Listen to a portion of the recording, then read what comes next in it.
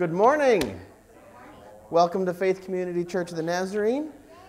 It's good to see everybody this morning. Uh, a couple quick announcements before we get started. Next week, it is next week already, is the community worship service. There's been posts on Facebook about it. I've been telling you every single week, so you have no excuse unless you're not on Facebook and you haven't been here. But now I'm telling you, next week is the community service. We'll be holding it at the Beulah High School at 10:30 a.m. Everybody from all the churches uh, will be coming there to worship together. Uh, Pastor Frank Sapp from the Congregational Church will be delivering the message. I encourage you to come and join us and to worship God as a community. Uh, also, on uh, next week, we will not be having Sunday school. Since we're not having church here, we won't be having Sunday school. The same goes for the week after. We get two weeks off of Sunday school, which, since I'm teaching it, is a bonus for me. uh, July 17th, we'll be having our uh, church picnic, and we'll be having the service out at Beulah Bay. Uh, directions are on there. If those aren't clear enough, just ask me or ask Penny, and we'll make sure you get to the right place. I trust that you can read everything else on there. Uh, lots of good information. If our ushers will come forward, we'll receive the morning tithes and offerings.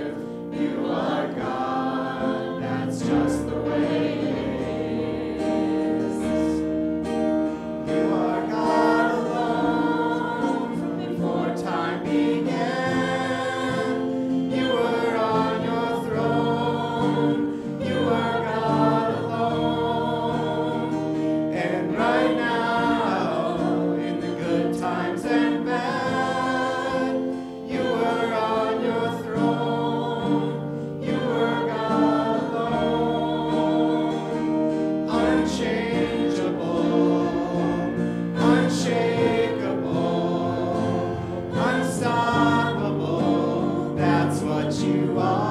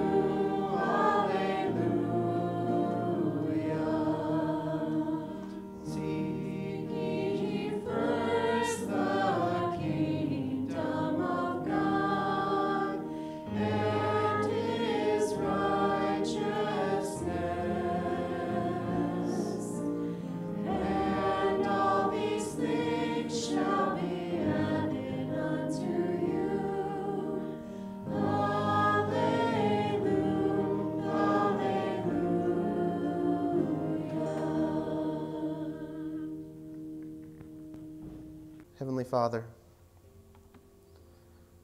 Lord, you are good. You are not a God that requires, that needs anything that we can give you, Lord. You are self sustaining, you are all powerful. Lord, you do not need us to worship you, Lord, but you delight in it. Lord, I thank you for who you are. I thank you for your goodness. I thank you for just being the loving God that you are. Lord, we lift up to you the burdens that we carry. Lord, I think of Dave's mom who has fallen, and Lord, I pray that you would touch her, that you would give her the strength that she needs. Lord, I pray that, that you be with the family as something like this can, can really scare you. So, Lord, I pray that you would wrap your arms around that family, that you would wrap your arms around this lady, that, that you would comfort and that you would strengthen. Lord, I think of this family that has their baby in the hospital with Down syndrome and leukemia. Lord, if ever there was somebody that needed your strength, it is them. And so we lift them up to you. We lay this little one in your hands. Lord, you have a plan. We know that you do. And we know and we trust that your plan is good. So, Lord, I pray that you be with this child, that you be with this family as they're facing all these struggles. Lord, be present with every visit of the doctor, with every passing moment. I pray that your spirit would be present, that your spirit would be moving through that situation. Not only in this little child's body, but in the hearts and the lives of those involved. And lift up to you those that are struggling, those who are facing financial trouble or family trouble, those who are who are wondering if you're really out there. Lord, I pray that you would come on each and every situation, each and every person. That, Lord, you would make yourself known, that you would show your goodness, that you would show your power. And that, Lord, out of every situation, that people would come away knowing that you are God and that you have everything under control. I lift up our nation to you this morning. Lord, as, as our nation is at a crossroads, as the elections loom nearer and nearer, Lord, I pray that ultimately that your will be done. Lord, I pray that each and every candidate, each person seeking the presidential seat, would seek after you. Lord, it is only through your power that any good can be done.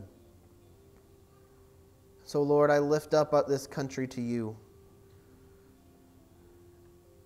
We trust in you, and we lay it all in your hands, Lord. I thank you for the blessings that you've bestowed upon us this week. I thank you for the independence, the, the freedom that we have in this country to seek your face and to worship you. Lord, I thank you for the opportunity that we have this weekend to gather together with family and friends and loved ones. Lord, I pray that each and every gathering would remain safe. And that, Lord, throughout all the conversations, throughout everything that's said, that ultimately you would be lifted up. That you would receive the praise and the honor. Lord, I thank you for allowing us to live in a country that is free.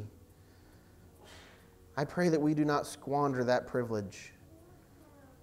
Be with us this morning as we seek your face, as we look to your word. Guide us and direct us to show us what you would have to tell us, Lord. In your name we pray. Amen. One of the simple joys in life for me is making these little splash screens for the sermon series that I'm about to do. It's a simple thing, I know. It's maybe a little childish. But this week I ran into a problem. I didn't want to start a new sermon series, and therefore I didn't have a picture for a sermon series. But I wanted to do one anyway, so I created this one. It's a one shot. It's just, it doesn't have anything to do with any other sermon or anything. But I thought it was a great opportunity to bring in the green arrow. Any excuse, I'll take it. we all had a, a, good morning this morning in Sunday school. It, it's great to, to understand why we study the Word and how we study the Word. And I mean, if, if you have not been reading regularly, I encourage you as I announced last week, we have scripture readings out there on the Welcome Center. Take one, just start, pick up on that date and just start reading. There's questions at the bottom of it to encourage you to, to think about and meditate on what you've been reading. We've been reading to our children since they were little, right before bedtime. We get out the Bible and we, we begin to read to them. It all started when, when Dylan was little. He received a, a children's Bible from the church. And we began reading that to him every night. And in the beginning, he really didn't understand what, you know, everything that was going on. But, but as we continued to read to him and as he continued to grow older, he, he understood the stories and he was able to repeat them back to us. The time came when the children's Bible just wasn't big enough for him. And, and that year for his birthday, Renee and I decided to get him his own big boy Bible. And honestly, I think that we were more excited about it than he was. And so, we, desiring to continue to read to him every night, we struggled with where to begin. You know, where do you begin reading? In such a big book with 66 books in it, where do you begin to read? He was just beginning to start children's quizzing. It was his first year.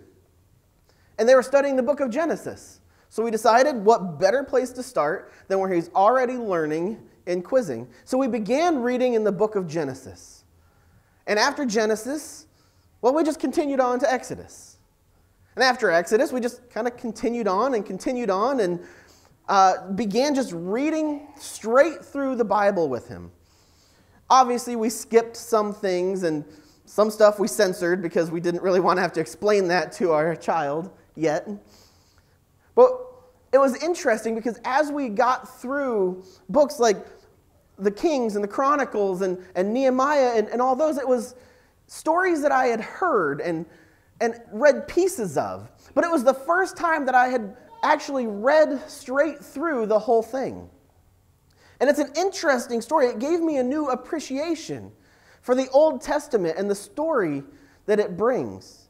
And it was during that time, as I was reading to him, that I came across the story of King Asa. He's not really a, a well known king, but his story stuck out to me. As I read the story of King Asa to my son, the further I went into the story, the, the more interesting it became. If you're not aware, uh, First and Second Kings and First and Second Chronicles, they kind of tell the same stories, just from different points of view or different perspectives. Some stories they'll elaborate on. And as we read through First Kings, we heard mention of King Asa, but they didn't really touch on him much. And it wasn't until we got to Second Chronicles that it really began to, to lay out his life. It's kind of like when, when you catch a movie partway through, or when you're only half paying attention to a movie you get to the end, and yeah, it was a good movie. But when you actually go back and you, and you watch it all and you pay attention to everything that's going on, and you walk away saying, wow, that was so much better than I thought it was. That was how the story was. And so today I want us to look at the story of King Asa. But in order to get to that point, I have to start back at the beginning of the movie. I have to go back to a man named Abraham. Because God chose Abraham and he told him that he would make for him many descendants and that kings would be in his line. Abraham believed God and he followed God. And through a series of events, his ancestors, many of them called the Israelites, ended up in slavery in Egypt. They remained there for 400 years until Moses, who I'm sure most of you are familiar with, delivered them with the power of God. They wandered the desert for 40 years until they came to the land that God had promised them, the promised land. And God told them to go in there and to take hold of their inheritance and to wipe out all the people in that land. They didn't quite do exactly what he wanted. They intermarried with some, they made treaties with others. They didn't follow what God had planned. And this led to much hardship in their lives. And as the years went on, and after they were conquered and then rescued and then conquered and then rescued, they finally came to the point where they decided you know what our problem is? We need a king. We need a king just like everybody else. That will solve all of our problems. God warned them against this. God told them that's not really what you need, but they insisted anyway, and God gave them a king and that established the kingdom of Israel. The kingdom of Israel went through quite a few kings. Uh, the most notable is King David, who is described as a man after God's own heart. Now, David was not perfect by any means. But he had a good heart and he, he sought to strive after what God wanted. Eventually, King David died, and his son Solomon became king. Solomon is mostly known for his wisdom. Solomon wrote most of the book of Proverbs, and he's also known because he is the one that built the temple of God. However, Solomon, with all these shining things on his resume, wasn't the beacon of light that we often portray him as. In fact, he married or intermarried with many other nations around them and as he married, they, these women that he married brought their false gods and their idols, and he began to worship them as well. Not only did he begin to worship them, but he encouraged the other Israelites, the entire nation, to worship these false gods and these idols. It was around the time that Solomon died, just before his death, that a prophet of God came to a man named Jeroboam. And he told him that God was going to divide the kingdom of Israel. And that when he did, Jeroboam would be king over half that, the one and a half of the division. And so Solomon died, and his son Rehoboam became king over Israel. And it wasn't long before the prophecy came true and the kingdom was divided. Jeroboam became king of Israel, and Rehoboam, grandson of David, son of Solomon, became king over Judah. As you can imagine, this left some bad blood between Israel and Judah. And over the generations, there were kings and there were kings, and they continued the path of Solomon, where they did not seek only God. They continued to worship these false idols. And this brings us to Second Chronicles chapter 14 and the king Asa. Now, Second Chronicles chapter 14 verse 2 says that Asa did what was good and right in the eyes of the Lord his God. This automatically puts him ahead above all the other kings. All the other kings that saw all these idols, King Asa decided, No, I will seek the Lord my God. And he began to tear down the altars and tear down the idols to all these other gods. And because of this, God gave him peace. God blessed him. And he was able to, to fortify many of the cities in Judah.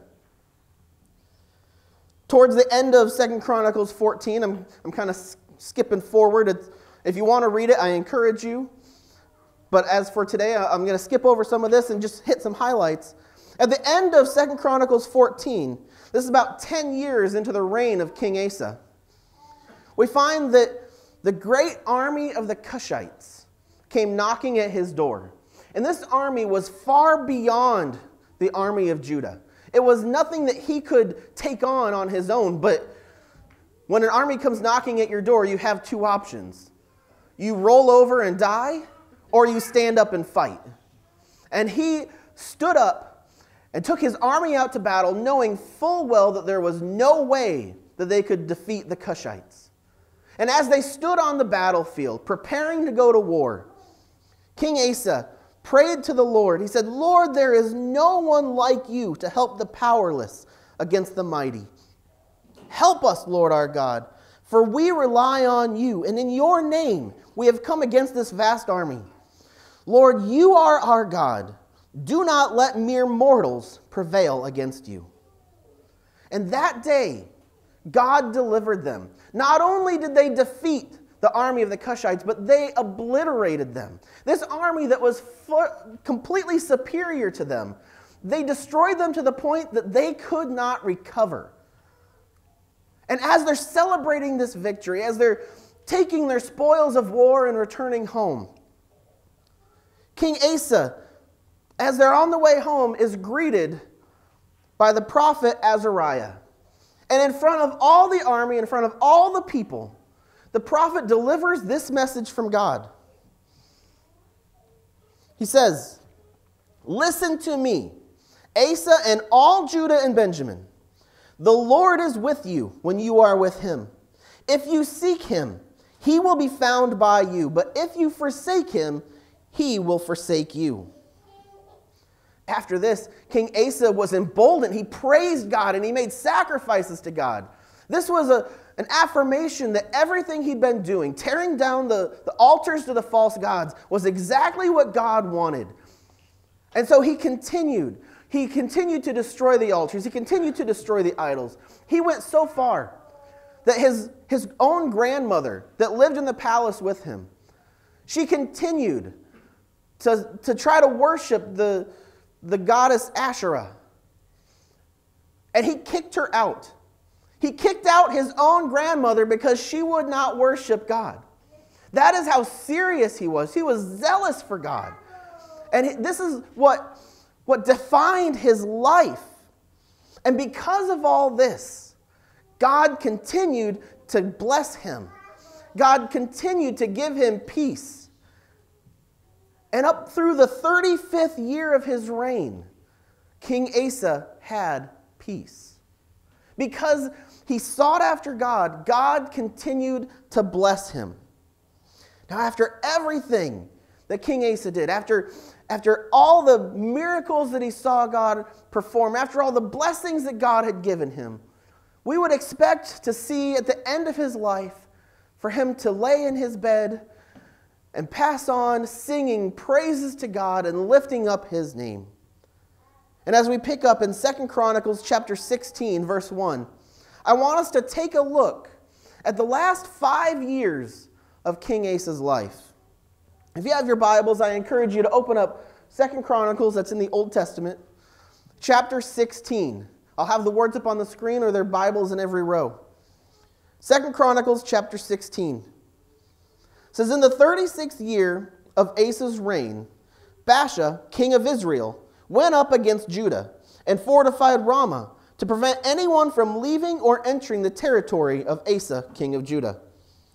Asa then took the silver and gold out of the treasuries of the Lord's temple and his own palace and sent it to Benhadad, king of Aram, who was ruling in Damascus. Let there be a treaty between me and you, he said, as there was between my father and your father. See, I am sending you silver and gold. Now break your treaty with Baasha, king of Israel, so he will withdraw from me. Ben Hadad agreed with King Asa and sent the commanders of his forces against the towns of Israel. they conquered Ijon, Dan, Abel, Maim, and all the store cities of Naphtali. When Baasha heard this, he stopped building Ramah and abandoned his work. Then King Asa brought all the men of Judah, and they carried away from Ramah the stones and timber Baasha had been using. With them, they built up Geba and Mizpah. At that time, Hanani the seer came to Asa, king of Judah, and said to him, Because you relied on the king of Aram and not on the Lord your God, the army of the king of Aram has escaped from your hand. Were not the Cushites and the Libyans a mighty army with great numbers of chariots and horsemen? Yet when you relied on the Lord, he delivered them into your hand. For the eyes of the Lord range throughout the earth to strengthen those whose hearts are fully committed to him. You have done a foolish thing, and from now on you will be at war. Asa was angry with the seer because of this. He was so enraged that he put him in prison. At the same time, Asa brutally oppressed some of the people. The events of King Asa's reign, from the beginning to end, are written in the book of the kings of Judah and Israel. In the 39th year of his reign, Asa was afflicted with a disease in his feet. Though his disease was severe, even in his illness, he did not seek help from the Lord, but only from the physicians. Then, in the 41st year of his reign, Asa died and rested with his ancestors. They buried him in the tomb that he had cut out for himself in the city of David. They laid him on a bier covered with spices and various blended perfumes, and they made a huge fire in his honor. That is the end of the life of King Asa. Asa had every reason to trust in God. He had every reason to place his hope and his faith in him. He had firsthand experience of the blessings that come from following God. He had lived out the message that the prophet had given him when he said, The Lord is with you when you are with him. He had personally experienced God's deliverance. However, after 20 years of peace and prosperity, something changed. No longer did he seek first after God. He became complacent. He began to trust in his own abilities and in his own resources. As such, when troubles came, consulting God was the farthest thing from his mind.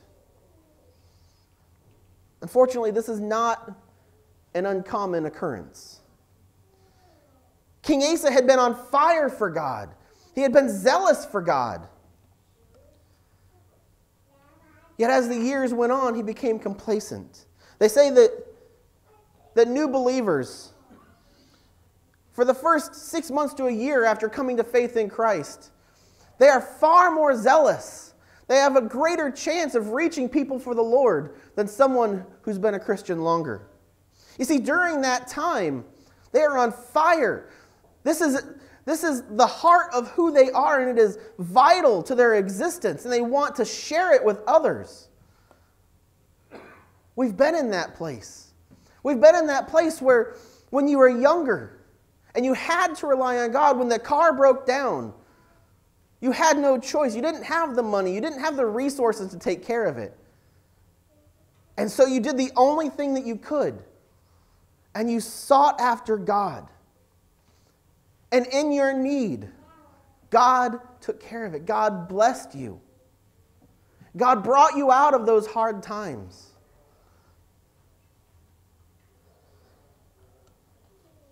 Times when we had no choice but to trust in God. He came through in amazing ways. Those are the types of stories that when the pastor asks for testimonies, those are the first stories that come to mind. You want to share what God has done. However, as time went on, King Asa built up for himself a savings account. He had plenty of resources at his disposal. He had been faithful to God, and God had blessed him for it. However, in his prosperity, he no longer felt the need to seek God. When the Cushites came at his door, he knew that he couldn't do it on his own, and he trusted in God, and God delivered him. Yet when Israel rose up against him, he took from the temple treasury and he took from his own resources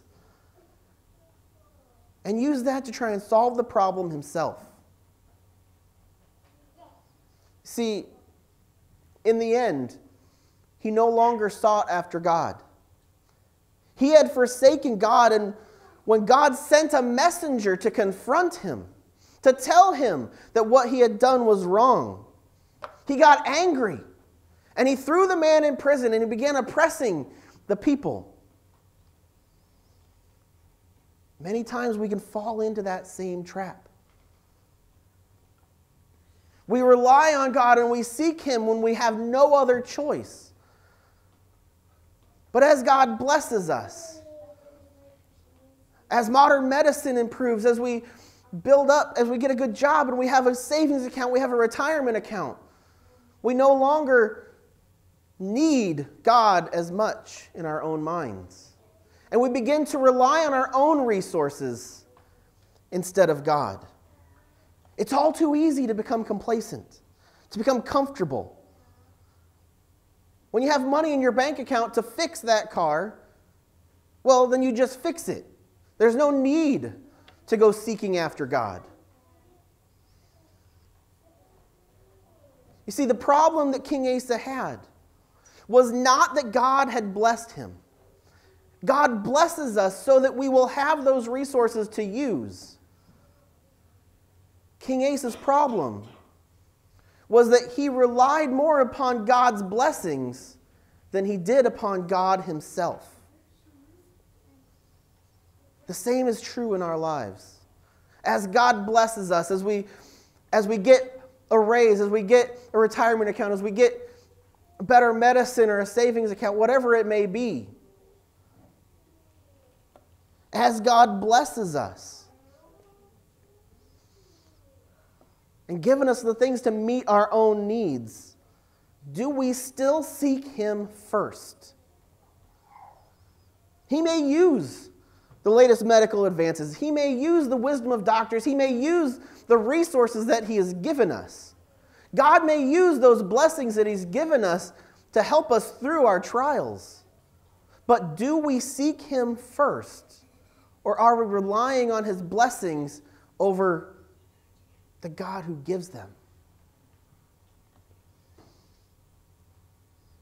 As the worship team comes up, and as we close in song, I want you to ask yourself this question. Truly think about Am I truly seeking after God? Am I truly seeking Him rather than just relying on the blessings that He has given us? Or have I become complacent in my comfort?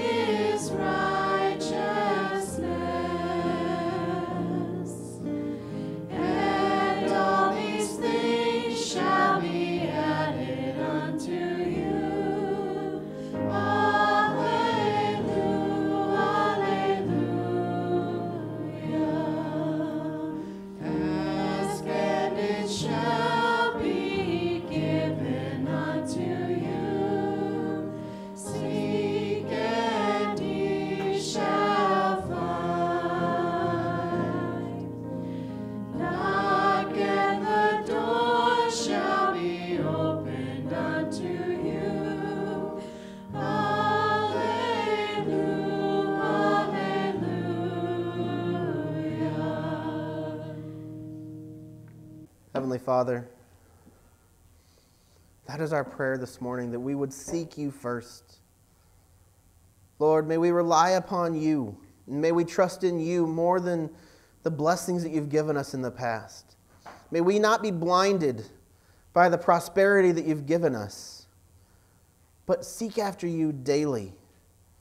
Through problems big and small, may our focus remain on you, that we may not fall. Lord, I pray that as we go from this place, that you would remind us of the blessings that you've given us. But ultimately, Lord, remind us of who you are and remind us of our need for you. Lord, go with us as we leave this place. In your precious holy name we pray. Amen.